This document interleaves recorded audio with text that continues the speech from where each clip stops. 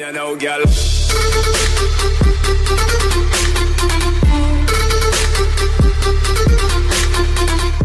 Rầm rộ trên mạng xã hội hình ảnh người yêu của Nu Phước Thịnh Mới đây, trên mạng xã hội được các bạn trẻ lan truyền chuỗi hình ảnh của Nu và một người đàn ông lạ mặt mà cho rằng là người yêu của chàng ca sĩ điển trai này. Nhiều bạn trẻ tỏ ra bất ngờ và cho rằng người đàn ông này không xứng với Nu Phước Thịnh.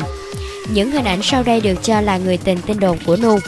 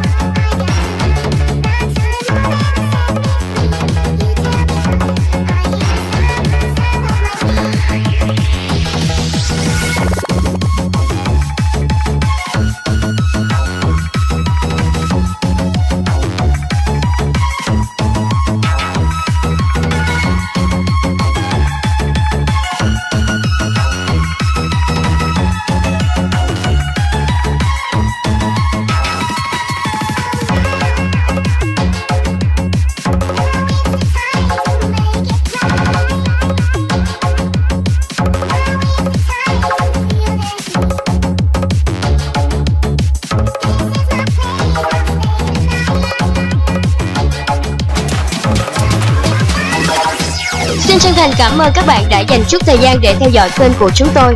Nếu thích bất cứ video nào, các bạn có thể like và share. Nhưng đừng quên nhấp đăng ký kênh miễn phí để các bạn có thể theo dõi được nhiều video hấp dẫn khác từ chúng tôi. Xin chào và hẹn gặp lại.